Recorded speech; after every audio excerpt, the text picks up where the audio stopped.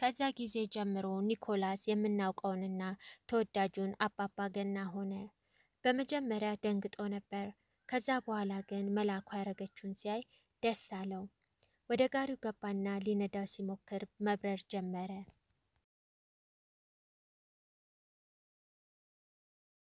ማሚ የሆነ ሰው ስጦታ አስቀምጦልናል፣ እያቸው። ወይኔ ሲያምሩ አሻንጉሊቶቹ። እኔ ነኝ ስጦታውን ያመጣሁላችሁ።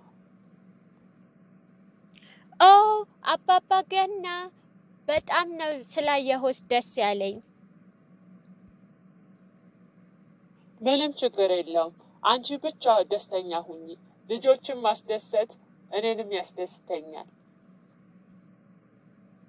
ይህ ሁሉ ስጦታ ለእኔ ነው? አዎ፣ ሁሉም ላንቺ ነው። አንቺ ጥሩ ልጅ ነሽ። ስለዚህ ይህ ሁሉ ይገባሻል። ምን እንደምል አላውቅም። ኦ በጣም ነው የማመሰግነው። ለአንቺና ለእናትሽ መልካም የገና በዓል ይሁንላችሁ። ሆ ሆ ሆ። ሰዎች ስለ ገና ታምር ሲያወሩ ሰማለሁ። የገና ሰሞን ሁልጊዜ የሚገርም ደስ የሚል ነገር ይገጥማቸዋል። የገና ታምር እንዳለ ያወቅኩት ዛሬ በዓይኔ አይቼ ነው። ፈጣሪዬን ብር ብዬ ስለምን በሚገርም መንገድ ለልጄ አሻንጉሊት አመጣልኝ። ምንም የማይሳን ፈጣሪ አመሰግንሃለሁ።